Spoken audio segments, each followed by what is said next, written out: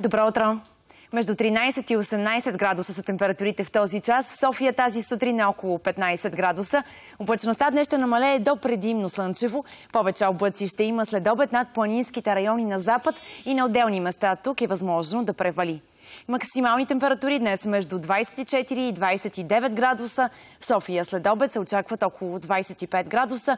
Вятъра днес ще бъде слаб до умерен от изток-северо-исток. В планините ще преобладава слънчево време. Краткотрайни следобедни превалявания се очакват само в масивите в Западна България. Вятърът в планината ще бъде умерен от изток, северо-исток. Температурата на 1200 метра височина ще бъде около 17 градуса, на 2000 метра около 14. На морето ще бъде предимно слънчево. До обяд повече облаци ще има по южното крайбрежие. Температурите по морския брег днес ще бъдат от 25 до 28 градуса. Морската вода е с температура около 25 градуса. Вълнението на морето и днес силно.